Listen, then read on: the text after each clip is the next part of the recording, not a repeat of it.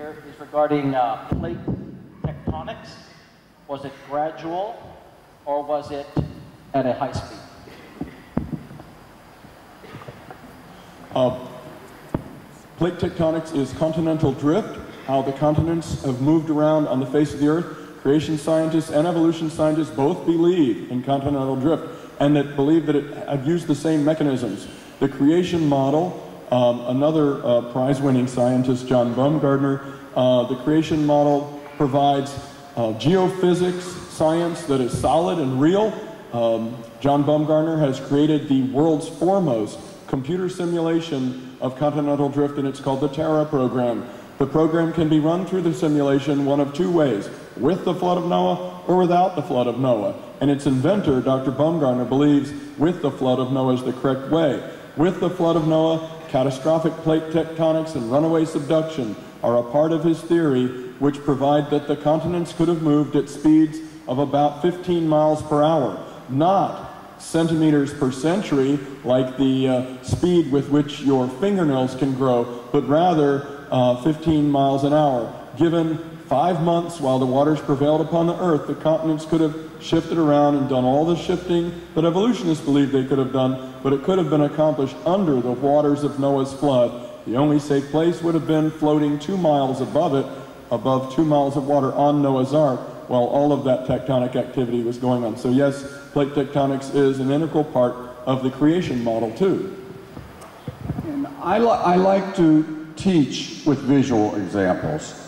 Um, Mount Everest, it has seashells on top of it, 28,000 feet above sea level. The Rocky Mountains, the Himalaya Mountains, they did not exist during or before the flood. They had to have come from somewhere. Now, both creationists and evolutionists both acknowledge the mountain chains of the earth had to be some of the later features to have developed in the earth's history. They simply get the time frame wrong because they deny that there's been a worldwide flood. Now, as Dr. Jackson said, one of the world's leading experts on the movement of the plates of this earth has shown, using computer modeling, that once those plates begin moving, they thin out the material underneath and they would move very, very rapidly. But, he, but here's an example. To create the Himalaya Mountains, India, in essence, had to slide along with an enormous plate of mass and slam into the Asia continental plate, buckling up those layers of rocks that have been laid down underwater to form the Himalaya Mountains.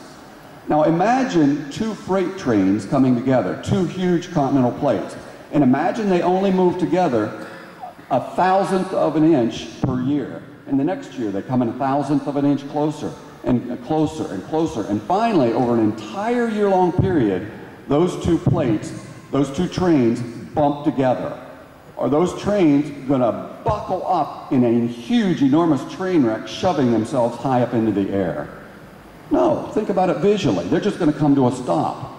But now imagine those enormously massive trains moving together very rapidly and running into each other. It's called a train wreck. They would buckle up in enormous distances up into the air and fold and bend the sediment, which, by the way, if it was millions and hundreds of millions of years old, would fracture and break. But most of the mountain chains contain sediment that's gently folded and bent as if soft sediment and mud had been bent while it was still soft and recently underwater.